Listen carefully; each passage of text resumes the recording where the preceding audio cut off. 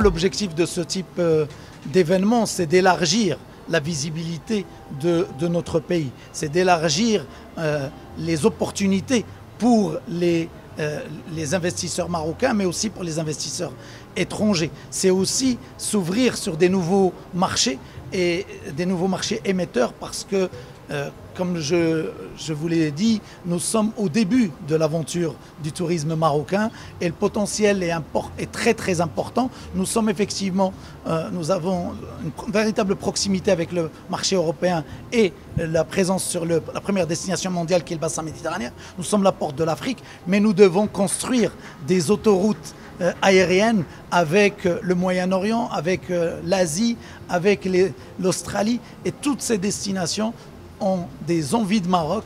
Et donc c'est pour ça que nous sommes là aujourd'hui pour euh, collaborer, co-construire avec eux cette euh, relance du tourisme marocain et euh, en même temps pour l'espoir pour toute l'industrie mondiale.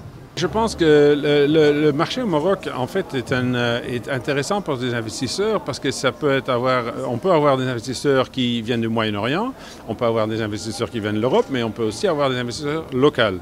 Et je pense que si on voit les Marocains qui, ont les moyens d'investir dans des produits, dans des hôtels euh, locaux, ils, veulent en faire quelque chose de spécial, ils veulent mettre leur marque là-dessus.